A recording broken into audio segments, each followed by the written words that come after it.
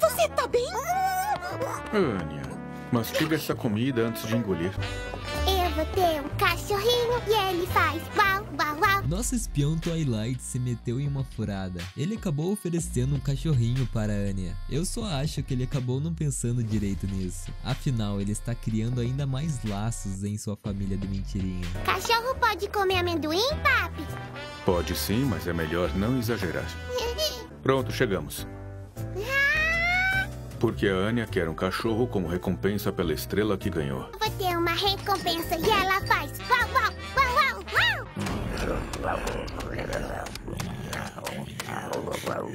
Ah, Você não achou esses aí fofinhos e espertos? Hein, Anya?